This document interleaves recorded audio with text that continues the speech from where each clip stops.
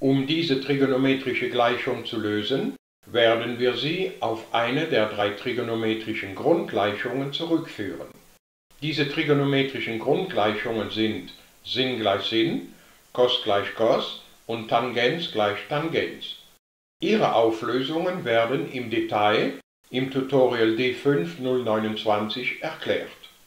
Wir können unsere Gleichung sehr schnell auf die Grundgleichung Cos gleich Cos zurückführen, denn minus 1, das ist der Cosinus von Pi. Somit haben wir schon die Grundgleichung Cos gleich Cos. Ihre Auflösung funktioniert so, der Cosinus vom ersten Winkel ist gleich zum Cosinus vom zweiten Winkel, dann und genau dann, wenn dieser erste Winkel gleich ist zu plus minus diesen zweiten Winkel plus k mal 2pi, wo k eine ganze Zahl darstellt. Diese Lösungen können wir sofort im trigonometrischen Kreis ablesen. Übertragen wir diese Lösungen auf unsere Grundgleichung, das heißt, der erste Winkel 3x ist gleich zu plus minus den zweiten Winkel Pi plus 2k Pi, wo k eine ganze Zahl darstellt.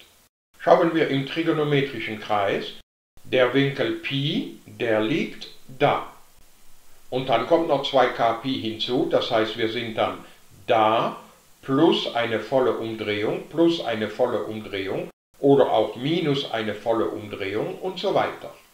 Für den Winkel minus Pi sind wir aber auch da. Das heißt, plus minus Pi plus 2k Pi beschreibt genau dieselben Winkel wie Pi plus 2k Pi. Also können wir dieses plus minus einfach fallen lassen und teilen jetzt noch diese Gleichung durch diese 3. Somit erhalten wir also x gleich Pi Drittel plus 2k Pi Drittel. Wir zeichnen diese Lösungen im trigonometrischen Kreis ein um zu sehen, ob man sie noch kürzer fassen kann. Kann man nicht, wir haben Pi Drittel plus 2 Pi Drittel plus 2 Pi Drittel plus 2 Pi Drittel plus 2 Pi Drittel und so weiter.